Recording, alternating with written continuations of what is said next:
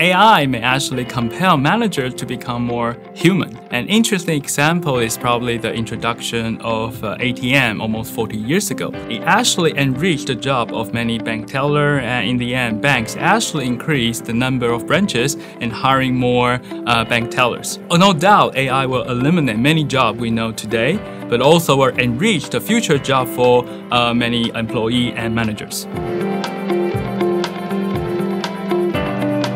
AI may actually create large-scale disaster unimaginable to uh, managers today. This is really because the hidden complexity introduced by the wide application of AI. And managers really need to be careful to avoid this illusion from day-to-day -day experience that AI is error-free.